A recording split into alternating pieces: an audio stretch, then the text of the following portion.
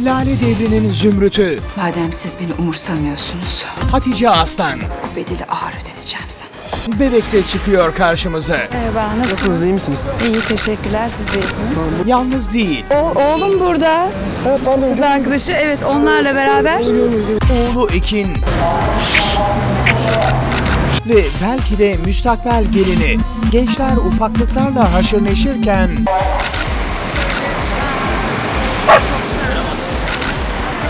O da dayanamıyor.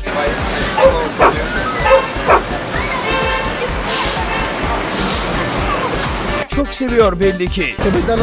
Ya bütün canlılarla ben her şeyi seviyorum ya. Güzel olan her şeyi seviyorum. Dönelim Lale Devri'ne. Yalan dolan aile mi kurulur? Dedikodular ayyuka çıktı. Aşık falan değilim ki ben. Gerçekte de aşkı yaşayan Selen Soyder'le Tolga Sayışman'ın Çok mutlu görünüyorsunuz. İlişkiyi bitirdikleri iddiası Bir yanda evlilik e, hazırlıkları derler, bir yandan ayrılık dedikoduları doğru mu? Zaman zaten gösterir yani. Onlar ona soracaksınız, bana değil.